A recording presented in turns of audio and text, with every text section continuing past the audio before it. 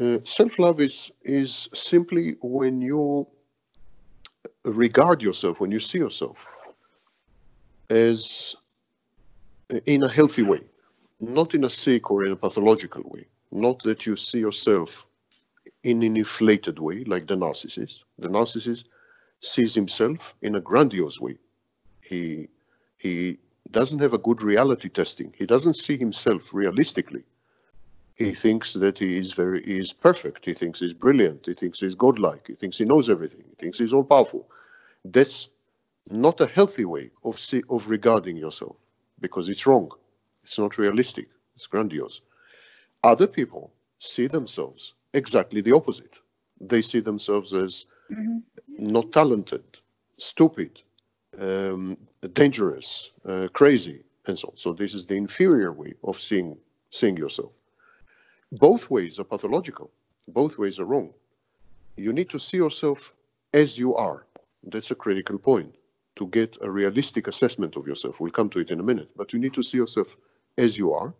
And then once you see yourself as you are, you need to pursue your happiness and you need to pursue favorable outcomes.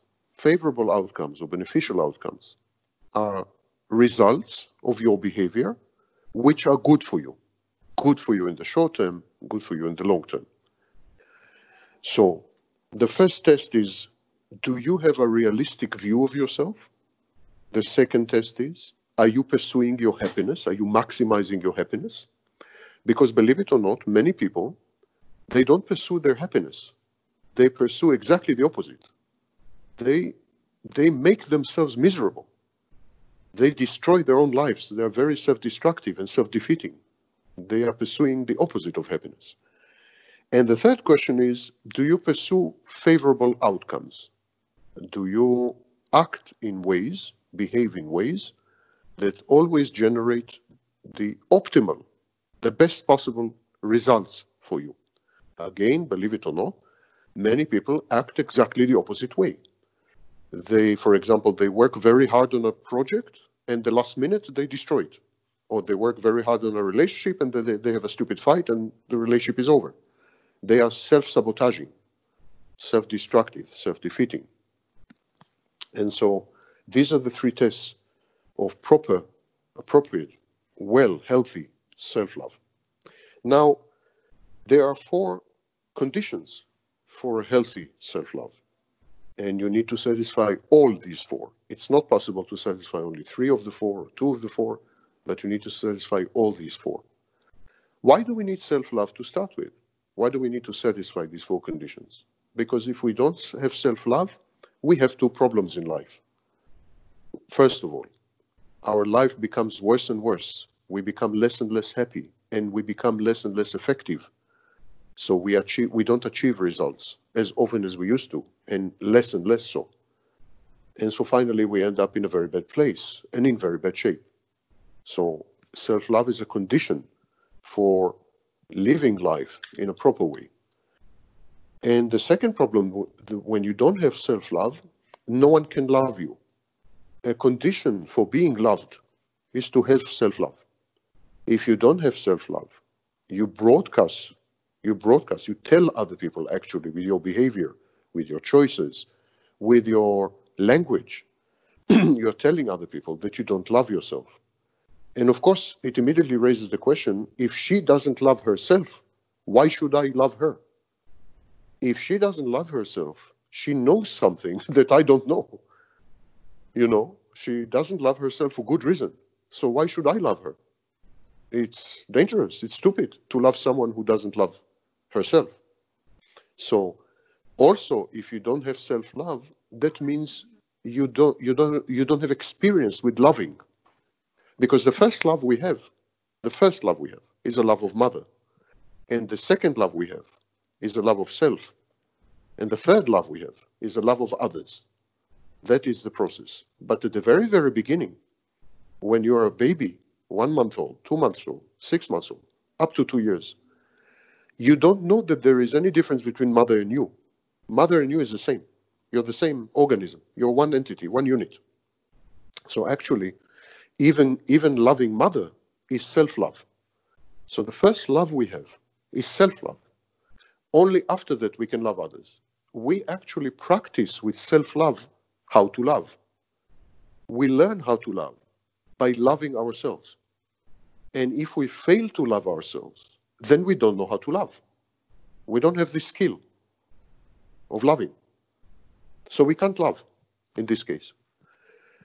And uh, this is the second problem with the lack of self love inability to love others and inability of others to love us. In other words, we live in a loveless environment. The minute we don't have self love, we commit ourselves for life to a loveless environment. And of course, it's a very sad existence. And in the long run, it's a deadly existence. For example, people who are not married die much earlier. People who don't experience touch, physical touch on the skin, die much earlier. People who don't have love affairs or meaningful relationships commit suicide at a much higher rate than people who do. People who are unable to maintain long-term relationships even though they try very hard for example people with borderline personality disorders um, 10% of them die by, by suicide. 10% of people with borderline personality disorder commit suicide so not being able to love and not being able to be loved is deadly dangerous to your health so that's why self love is a critical condition for survival. Forget other things, just survival. Without self love, there's no survival. It's very dangerous. And so we need, there are four conditions to develop proper self love, functional self love. The first condition is self awareness. Self awareness has several components. First of all, that you are intimate with yourself intimacy with yourself. In other words, you don't lie to yourself. You don't delude yourself. You don't live in fantasy. You don't have defense mechanisms that distorts, distort self-knowledge, that affect self-knowledge. You really know who you are. You're intimate with yourself. You don't lie to yourself about yourself. So this is intimacy. The second thing, your self-awareness must be detailed. In other words, there are no parts of you there are no areas of your experience. There are no, there are no domains or territories of your mind that you don't go to, that are repressed, that are suppressed, that are forgotten, that are dissociated. Everything is open. You have full access to 100% of you, 100% of your mind, 100% of your life, 100% of your motivations, of your wishes, of your fears, of your emotions, of your feelings, of your sensations, of 100% the, your self-awareness must be, your access must be unlimited, and your knowledge must be detailed. That is also a condition for intimacy, of course. And finally, another condition for self-awareness is that it is compassionate.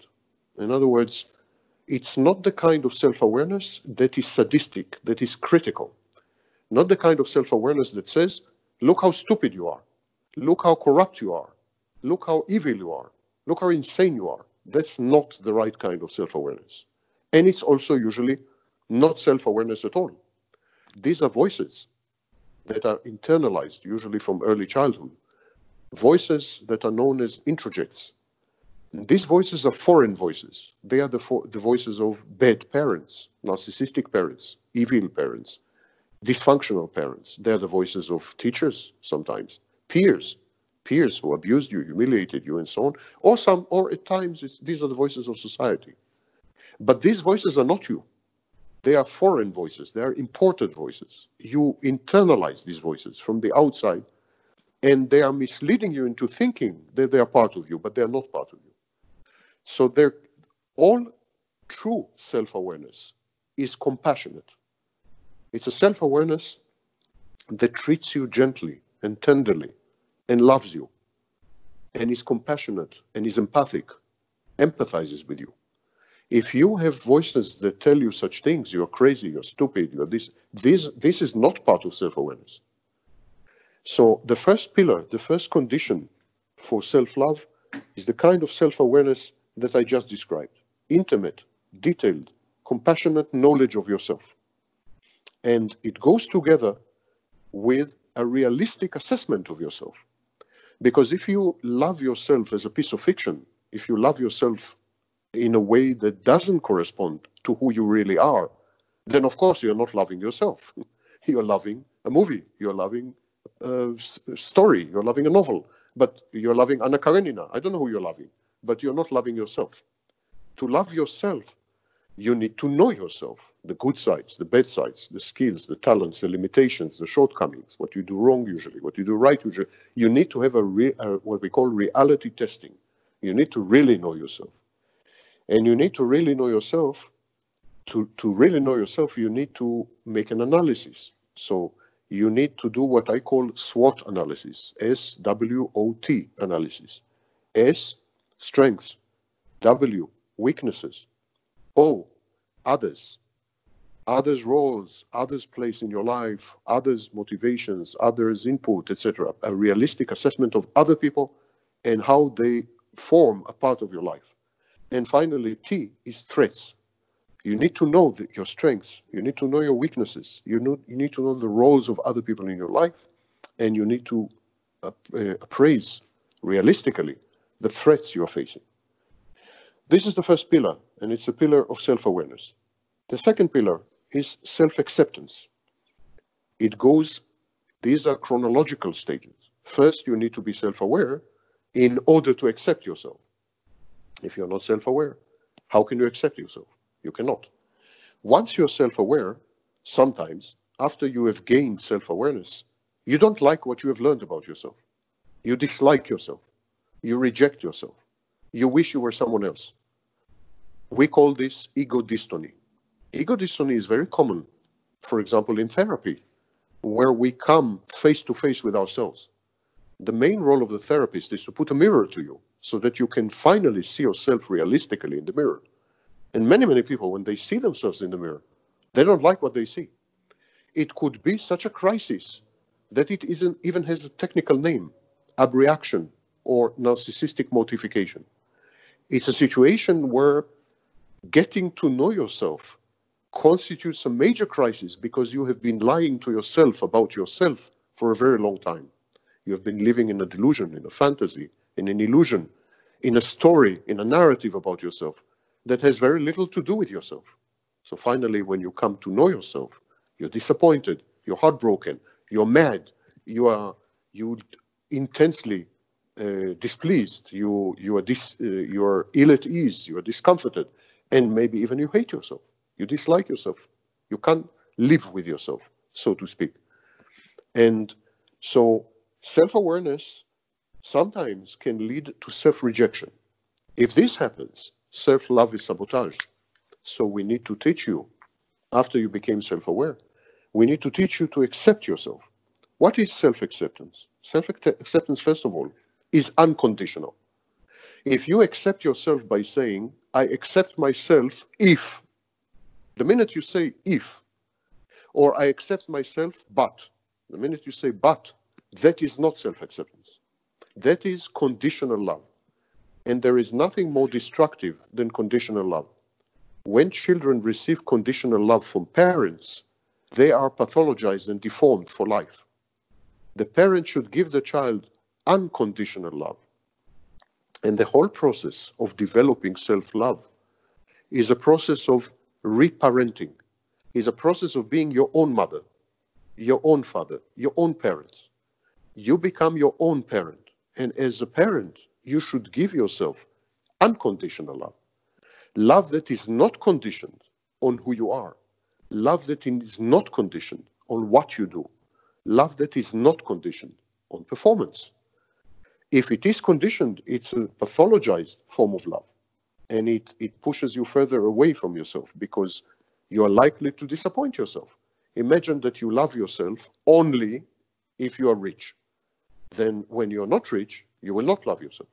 So, you're likely to disappoint yourself. It's not stable self love. It's not self love at all.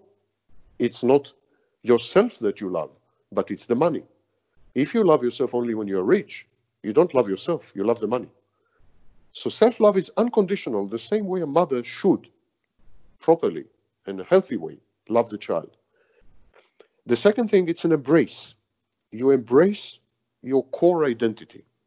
You embrace who you truly are. Now, we must distinguish between core identity and peripheral identity. Core identity is the part of you that never changes, never mind what happens. Never mind the circumstances, never mind uh, who you're interacting with, never mind what happens to you, never mind what you have learned, never mind that part remains immutable. In other words, unchangeable. Always absolutely the same. It's a rock, it's a nucleus, it's a stone, never changes. And there is peripheral identity or peripheral, um, so this peripheral identity changes. Peripheral identity is reactive. It changes according to changes in environment, challenges, opportunities, threats, fears. It, it, all the time it changes. Now, when we get in touch with other people, we usually get in touch with their peripheral identities. Only when we fall in love with someone else and we spend time with him, we become more and more intimate. And intimacy is the way leading from the peripheral identity to the core identity. And once you reach the core identity, you can either accept it or reject it. When you develop self love, you need to reach your core identity. And once you have reached it and you find out who you truly are, regardless of what happens, you need to embrace it. You need to accept it. Embrace it almost physically. Hug it, like hugging. You need to accept your personality, your character, your temperament, your relationships, your experiences, your life circumstances. Your, you need to accept that there is a core. And this core is uh, strong, reliable, never changing, and will, will not be affected by everything that's happening to you. So you can embrace it. It's a little like being in a sea. Imagine that you, you're shipwrecked, your ship sunk, sunk down, you're in Titanic, and you're in the sea. And suddenly you find a rock. What are you going to do? You're going to cling to the rock. You're going to hug the rock in order not to drown. That is your core identity. The core identity is a rock in a stormy sea. And if you want to not drown, you need to hug it. You need to embrace it. Because all the rest is, is a storm. All the rest is changing. Sometimes it's a perfect storm, like right now with the pandemic. You can't meet people, you can't see people, you can't. So there, there's not much going outside. You need to have something inside that prevents you from drowning. And that is your core identity. The third pillar, so this, the first pillar is self awareness. Second pillar, self acceptance. Now, the third pillar. The third pillar is self trust. Self trust. Many, many people don't trust themselves. They don't trust themselves because experience, life experience, has shown them that they are making the wrong choices, that they're choosing the wrong partners, selecting the wrong mates, that they have, uh, when they had two options, they chose the wrong one. the, and so they don't trust themselves they don't trust themselves because they don't believe. They are beginning to believe that they don't have their own best interests in mind. In other words, you need to have a conviction. You need to trust that you have your own best interests in mind, that you are pursuing your own best interests. But life hands you so many defeats and so many failures that you sometimes begin to be convinced that you are self destructive, that you don't have your best interests in mind. On the contrary, that you hate yourself, and that you are out to destroy yourself, and that you're out to hurt yourself, and that you will damage yourself. Given the opportunity, you will damage yourself. You can't trust yourself to pursue your best interests because you are your own worst enemy. So, this perception, I have seen the enemy and it is I, this perception prevents you from trusting yourself. Uh, you don't believe, for example, that you are watching your own back. In other words, you don't believe, you don't trust yourself that you will be alert, that you will be warned if there is a threat. You don't trust yourself to identify threats. You don't trust yourself when you identify threats to avoid them, to act appropriately. You don't trust yourself. You feel that you are driven towards destruction by your own, by your very self you feel that you have no agency, no autonomy. It feels like someone inside you is stronger than you, and that someone is alien. It doesn't feel exactly like you. It feels like some entity some invader, some body snatcher, some some extraterrestrial entered your body, some monster, I don't know how you want to call it, entered your body and took possession of it. And it is this alien thing, which is not exactly you, that is pushing you to sabotage yourself, undermine yourself, hurt yourself, damage yourself, make wrong choices, choose wrong partners, and end up in very bad places, doing very bad things that you didn't want to do and that cause you great discomfort or worse. So this is a critical phase. You need to make peace with yourself and you need to trust yourself that you are your own best friend, not that you are your worst enemy. Now, usually this goes, this lack of self-trust goes with two other phenomena. phenomena. The first phenomena is external locus of control. External locus of control is the belief that your life is not under your control, that it is determined by others from the outside. That whatever happens to you is not your fault, but also not your intention, not a result of your planning, not goal oriented, not under your control. You didn't, you had very little to do with it. Other people, stronger people, richer people, or people who are in the right place at the right time, these people decide your life for you. They push you around like you're like a pinball in a billiard billiard table, you know? They push you around. You feel that you have no agency in the sense that you don't make decisions about your life. You feel that you have no autonomy in the sense that you have no control, even when you do make decisions. So this external locus of control is critical because without it, when you have it, you cannot trust yourself because yourself is not relevant. Only other people are relevant. So instead of investing in yourself, instead of investigating yourself, instead of getting to know yourself better, instead of, of turning inward, you turn outward. These kind of people, people who do not trust themselves, people who are who believe themselves to be self-destructive, self-defeating, stupid. Some people think they're stupid, too stupid to make decisions. So, or too weak, or too disempowered, or too poor. Poor people have this. Uh, minorities, members of minorities, black Africans, for example, uh, African Americans, uh, Jews, they have this kind of thing because they feel powerless. They feel they feel helpless. They feel they always depend on the outside. So these kind of people don't have self-love because they don't have self-trust. Instead of investing in themselves, getting to know themselves, loving themselves, and accepting themselves, what they do, they invest all this energy in others. So they would tend to become the slaves and the agents of other people. Because their lives depend on other people, they, they pay attention to other people. What other people do? What are they thinking? What are they likely to do to us? What decisions they are likely to make? How these decisions will affect us? They are constantly focused on other people, their state of mind, their possible decisions, their effect and impact on, on, on their lives and so on. So if you, for example, are dependent or you perceive yourself more, more appropriately, you perceive yourself to be totally dependent on another person, and that other person's mood, that other person's emotions, state of mind, financial condition, and so on, have 100% impact on your life, you would not trust yourself. You have zero control over your life and zero effect on your life. Why would you invest in yourself? It's irrational. It's much more rational to pay attention to that other person because that other person determines your life. So you need to know everything about that other person. What is he thinking? What is he feeling? What is he about to do? What is has he already done?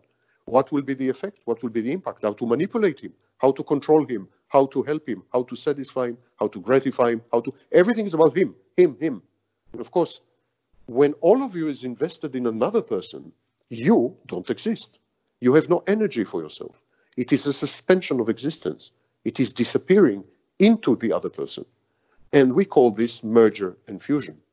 This is very common in mental health pathologies like dependent personality disorder and borderline personality disorder. It's a pathology. So uh, self-trust is very critical. Because you need to develop the belief that you actually are not controlled and are not dependent on, on other people in a way that compromises you. You can be dependent on other people. We are all dependent on other people to some extent. And we can even be controlled by other people. For example, if you have a job, to some extent you're controlled by your boss. If you live in a country, to some extent you're controlled by the ruling elite and by the law enforcement, police. We are all controlled to some extent. No one has total freedom, total independence, and total autonomy. But you need to believe that the control, the extent of the control, is not such that it compromises who you are. Your actions can be affected. It's okay. Your behaviors can be changed. It's okay. But not your core identity.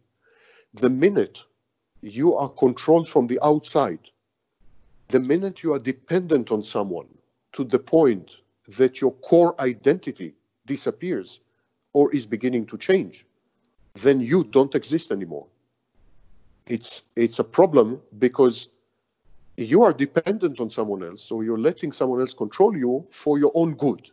It's supposedly you're doing this for yourself. But if the price is to not be, then who are you doing it for? You're doing it for yourself. But if there is no self, who are you doing it for? Sometimes we lose sight, sometimes we ignore the fact that by trying to satisfy our needs, our wishes, our dreams, our fantasies, we are actually sacrificing ourselves. And so these needs, these wishes, these fantasies, even when they are fulfilled, they feel empty because no one is left there to enjoy them. You, by killing yourself, you also kill the only person who can enjoy the fantasy. By disappearing yourself, you also vanished or disappeared the only person who can enjoy the wish when it is fulfilled or the dream when it is realized. Dreams, fantasies, and wishes, even when they are realized and fulfilled, they depend on you existing. If you don't exist as a condition for realizing these dreams, fantasies, and wishes, then what are they for? And the final pillar, the, the last one, is known as self efficacy. Self efficacy is a belief, so what we call a cognitive belief. It's a belief that uh, you are capable of, first of all, setting setting goals. You are capable of setting goals. Many people say, I cannot set goals. I cannot decide on goals. I cannot decide on aims, on purposes. I cannot make plans. I cannot make plans. I cannot decide on goals because my life is chaotic chaotic, it's chaos. I don't control my life. It's a, it's a bloody mess. I just prefer to sit at home and drink alcohol or do drugs or have sex, and that's it. Because it's pointless to make goals, to, to set, settle, settle on goals, and to make plans. So the first part of self-efficacy is the belief that you are capable of setting rational, realistic, and beneficial goals. And the second part is that you possess the capacity, the wherewithal, to realize to realize in reality outcomes that are commensurate, that are reflected by these goals, by these aims, commensurate with the aims. So, in other words, you should develop the belief that you can set goals and then that you can pursue them and realize them. And that the results in reality, the outcomes, will reflect these goals, will somehow be connected to these goals. In other words, that you can accomplish these goals. And these goals must always be rational, realistic, and beneficial. And how do you develop this belief in self efficacy? You develop it when you look back at your life and you realize that actually you, your experience is that you do set goals and that you do accomplish them. In other words, when you look back at your life, you discover that you are self efficacious. Now, all people are self efficacious, well, with very few exceptions vast majority of people are self-efficacious because vast majority of people survive. To survive, you need to be self-efficacious. You need to set goals, even minimal goals. I'm going to the grocery store to get bread. That's a goal. I'm going to buy food. That's a goal. I'm going to take a shower. That's a goal. You need to set goals in order to survive. So everyone is setting goals and everyone is realizing them. There's no person who is not self efficacious and alive if you're alive, you're self efficacious. So when you look back at your life, you discover that actually 99% of your goals, you set them, and 99% of the time, you succeed to realize them. And in some cases, you set very complicated goals, very far reaching and fantastic goals, and you realize them also. The minute you understand this, you suddenly feel a lot of power. You feel empowered because you realize that actually you're very good at manipulating your environment, human environment and inanimate environment. You're very good at setting goals that are that are good for you, that are beneficial, and you're very good at realizing them. You suddenly gain self-confidence, self-esteem. You suddenly gain trust. And indeed, it's a form of narcissism known as healthy narcissism. It's the belief that you're okay.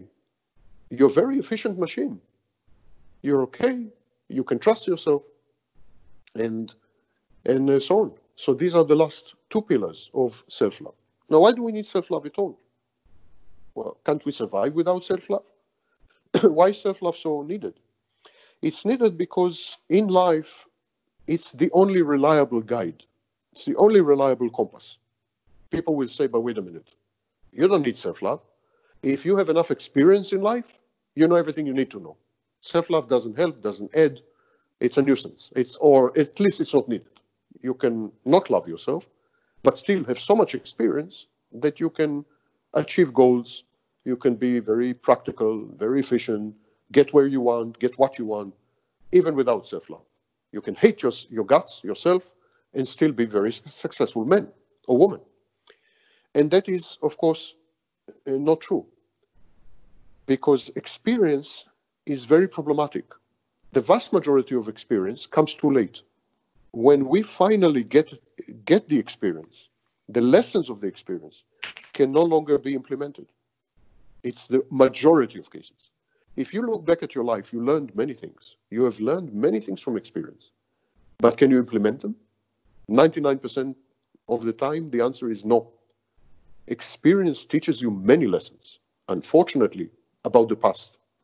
Very few of these lessons can be implemented in the future because of old age, because of lost opportunities, because of changed circumstances, because of many things. But experience is pretty useless, actually. And um, not two people, not two situations are the same. Compare this, for example, to self-love. Self-love is like a rock, yeah? It's stable, it's reliable, it's immovable, it's immutable, unchangeable. It's a guide. It's a loyal friend, the truest loyal friend. Eh, the, the only concern of self-love is your welfare, your your happiness, your contentment. You can trust your self-love. It will guide you to the right places, prevent you from doing stupid things or crazy things, dangerous things. If you truly self-love, you are never reckless, you're never addictive, you never compromise your boundaries, you never go to bed or dangerous places. You know, if you truly self-love. experience alone without self-love can take you any place. Very, very, very experienced uh, people end up in jail. Very, very, very experienced people end up being assassinated or murdered. And very, very, very experienced people end up making seriously stupid decisions, seriously self destructive decisions. Experience is not enough without self love. Self love is the condition for living the, the right and the proper life. Now I would ask you to stop the recording. Mm-hmm. You did? Just a second. I'll look at mine. wait, wait, wait. Wait, wait, wait, just a second. Okay, stop recording.